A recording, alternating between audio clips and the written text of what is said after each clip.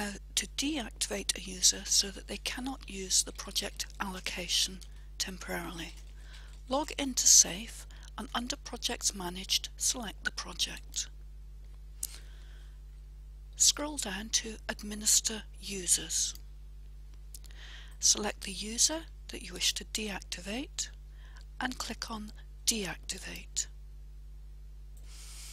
You will see that their status has changed to inactive. They will no longer be able to run jobs on ARCHER but will be able to log in, for example, to access their files. To reactivate a user, select the user and choose Activate.